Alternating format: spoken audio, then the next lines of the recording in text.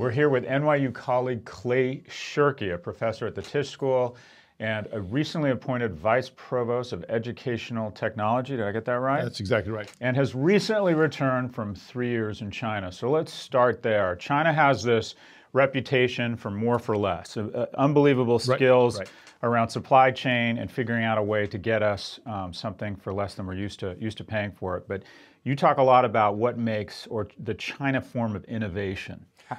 Yeah, so I, I when I started going over to help NYU set up a Shanghai campus, I, yep. I bought a phone while I was there. I needed a Chinese phone. I just saw one I liked. I bought it when I got to the campus.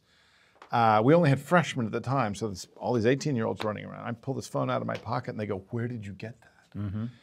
And I'm not used to being the envy of teenagers. Let me tell you, it does not happen, not a familiar feeling before or since. But for the moment I had this phone, I was like, well, what is this thing? And like, that phone is sold out in all of China. It was the Xiaomi Mi 3.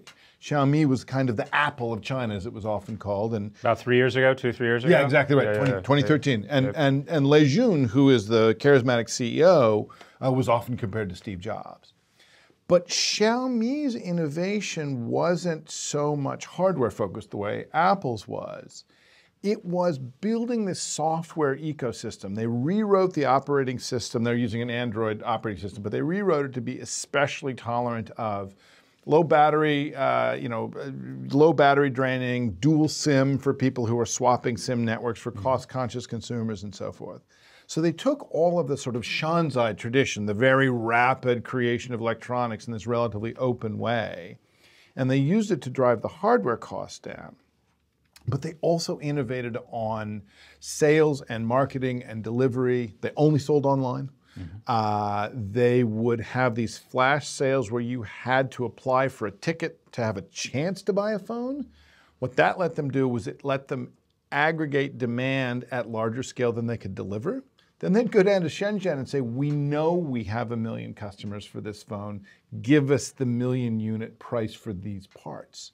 And so the whole thing was this the innovation was in the ecosystem in a way. What Xiaomi was doing was saying, if you want a phone that is not just cheap, as China has always been best in the world at, but surprisingly much better quality for the cost you're paying. If we want to use design to inflect the cost curve up, it's not enough to design the phone. You have to design the sales, you have to design the marketing. Um, they insourced customer service. Usually that's a, that's a, a function people want to get rid of. Mm-hmm. They said, no, no, if someone is talking to a customer about our product and that customer is not happy, we want to know it first. And so in Beijing, right, in the, in the Zhongguancun neighborhood, in the kind of, you know, Silicon Valley of China, as it were, uh, there are people answering the phone, talking to them about Xiaomi, operating on chat, because they just rethought all of the things you could do as an electronics company to, to control cost downwards, as always, while raising quality. You talk a lot about sales and delivery innovation in China. Speak more about that. Yeah. So so there there are many things that are different about about China, particularly if you're living in a large city.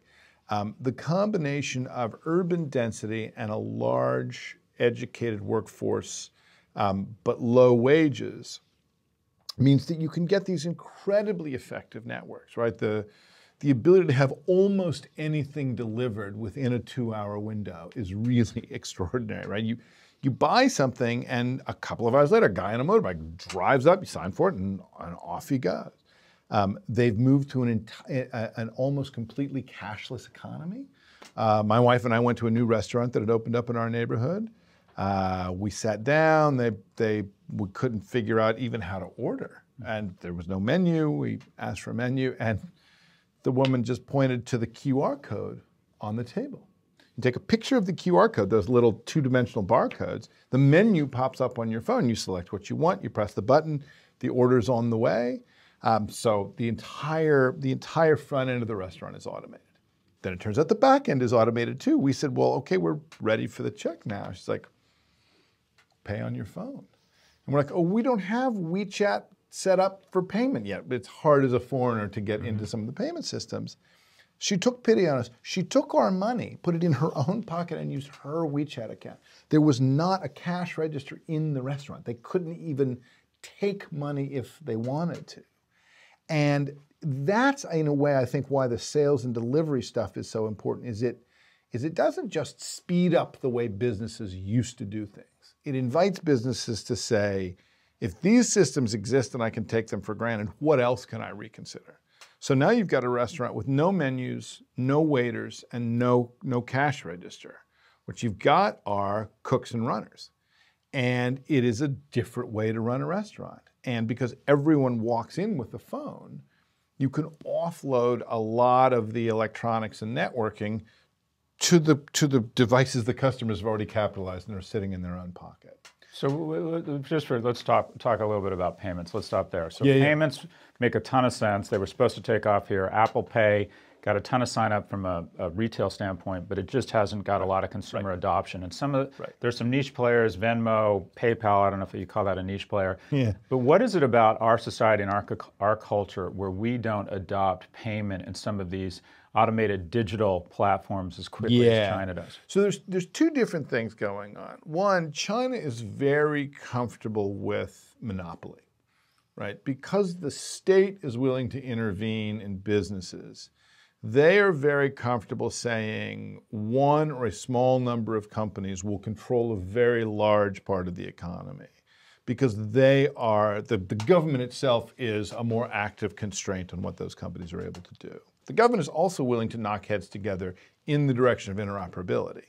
Um, if the US government said, you can have any payment system you want as long as it looks like this on the back end, then Apple Pay and Samsung Pay and Venmo and all of these various systems would be much more interoperable than they currently are.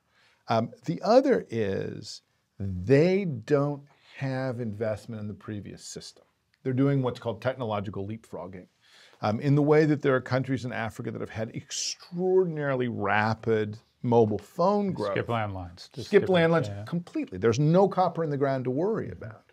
Um, in the case of China, they really went from super cheap Nokia style, all it does is voice and text, straight to smartphones. And the massive adoption coupled with the low cost, which, which you know, drives, that, uh, drives those network effects really everywhere in the country, means that it is a very, there's a very short window to be one of those early successful companies that's getting, getting drawn up and you're not competing with, well, we already had a perfectly functional, you know, electronic billing system or electronic checking system before.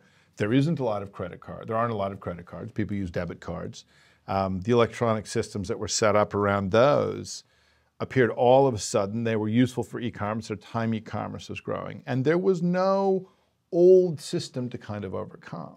And the U.S. credit cards have worked well enough for long enough that they're really deeply embedded and the value of replacing credit cards with with you know take a picture of a QR code on your phone it's just it's a, it's a smaller step and the sunk cost of the previous systems are larger so yeah it is it is very weird to come back to New York City and think it feels so primitive like just paying for things here feels really primitive compared to China where I just stopped carrying cash as long as I had my phone in my pocket I could I could interact. And it, by the time we were leaving, it was just just last July. Uh, street vendors who were making you know jiaozi and pancakes and they're making sort of street food would have a little QR code. Mm-hmm. Right, you buy six dumplings, take a picture of the QR code, transaction's done.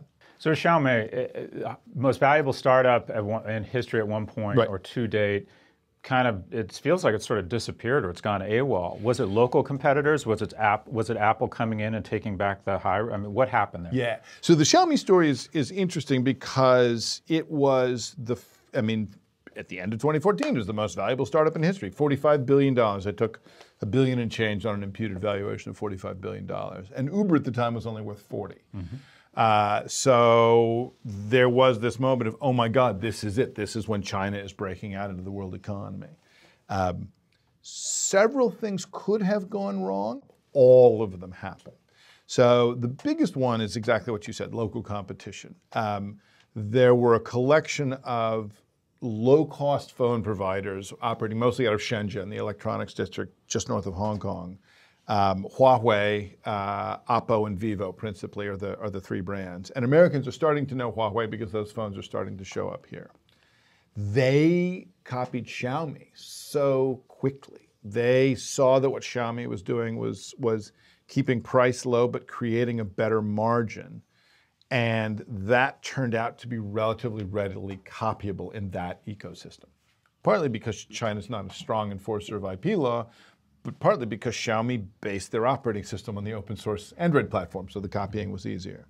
Um, the next thing is Xiaomi's imputed valuation came from the idea that every product a person buys is going to have the economics of a cell phone, right? You buy a toaster, you buy a rice cooker, you buy a watch, you buy a drone, whatever. They were making all of these uh, products. They were becoming a kind of general industrial design firm.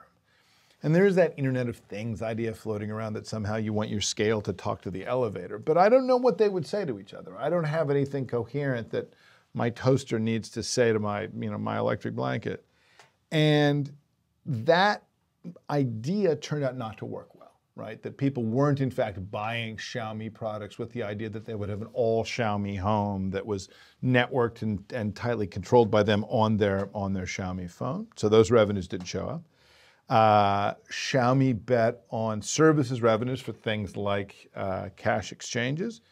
That, in fact, went to the platform that had the widest adoption, which was first Alipay and now WeChat. Um, so it turned out a pure software play worked better for that.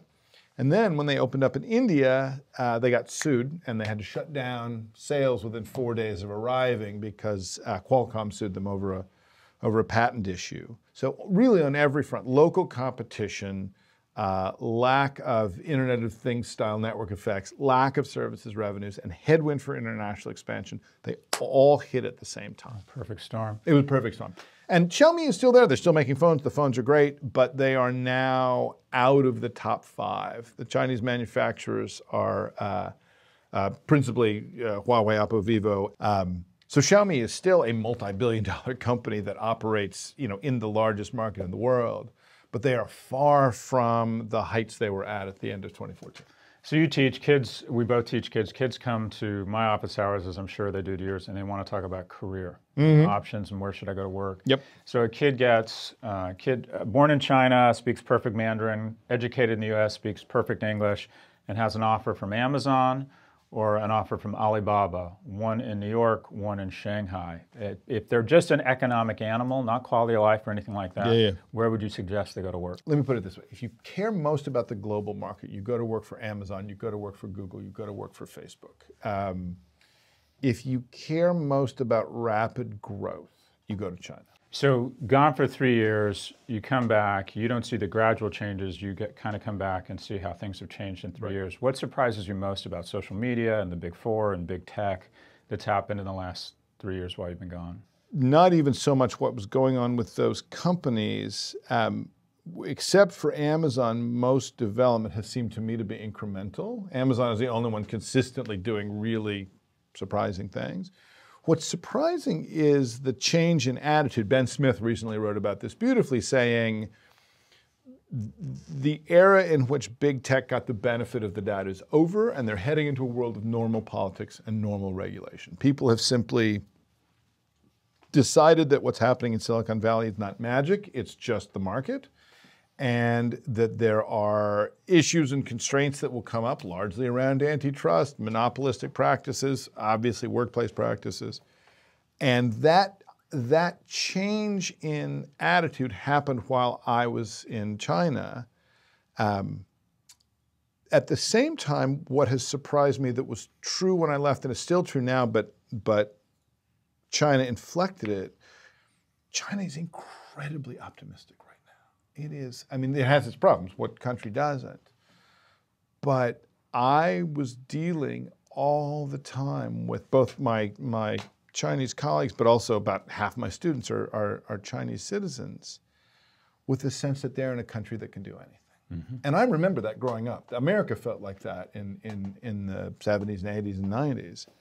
Um, and it went away, uh, obviously, largely because of the financial crisis, and which then got people talking about other other problems the U.S. had. But the contrast was incredibly striking. The U.S. is, it seems to me that there's this sense that nothing can get better, and in China, you if you, literally if you just sit there and time passes, things get better. You get back to New York. LaGuardia. My yeah. God, right. No, I, I left from PVG. I left from the Shanghai International Airport. I landed in JFK. It's like, okay, one of these airports is in a developing country and one of these airports is in a developed country. But I'd swear they were yeah. swapped. No, you expect to see chickens running around JFK. the, the, but, but, having said that, so China's more optimistic. We look at China, how, how can they build, you know, these kind of Skidmore, Owings designed airports that are just incredible. Uh, but the observation I would have, and again, I'm sounding like the ugly American here, is that all the Chinese students I have in my class mm-hmm. are desperately trying to figure out ways to stay uh, in America, mm-hmm. Mm-hmm. and I don't, I don't see that same. Yeah. Still, when given a choice, I find that the mo- majority of young people with options would rather be here. Yeah, now that that is true. There is a sense um, and it may be slightly muted among my population because many of them have come to me, they're interested in social media, and China is clearly where the action is. In a way, e- it would be easier to say, I want to go work for Tencent, which is the parent company of WeChat, um, then I'm going to stay in the US and take my chances in the internet, in the internet industry here. Um, but there is a way in which if you want to do global business or if you want to be if you want really if you want to be part of any global community you'd be better off here. But that's true uh, in comparison with almost any country in the world. But i also know people who want to study here but go back sometimes because they see the opportunity in china but sometimes because they want to change china. Um, there's a kind of patriotism among young people that isn't my country right or wrong. It's my country. My country. Yeah. China can do anything, so why don't we fix these problems? And the tension between people saying, well, let's just get rid of the pollution, and Beijing saying, no, no, those, like the people running the polluting industries are also government officials, so it's not so easy to shut it down. Like, as this cohort ages, that tension is going to become part of how they figure out how to govern. Um, but anywhere in the world, the people making the most cosmopolitan choices are going to come mm-hmm. here. There's no, as the US withdraws from the world somewhat under Trump, there's no obvious replacement. It's not like we're shrinking back and some other cosmopolitan center is coming forward. It's like we're shrinking back and maybe the global interconnectedness is just going to come under pressure. But certainly anyone, and, and I think anyone who'd find their way either to Stern or to you is going to be minded to be thinking on a global canvas. I can bet that most of the students want to want to work elsewhere. So, a book, articles, website. Where can people find more more information from Clay? Uh, Shirky.com, of course. Uh, but uh, the the most recent book is, is Little Rice, which is published by Columbia, uh, the Global Columbia Global Report series. Um, and then Here Comes Everybody and Cognitive Surplus, my two books about social media, remain, remain on the bookshelves. Good. Thanks very much. Great. Thank you. You are my best friend, and we've got some shit to shoot.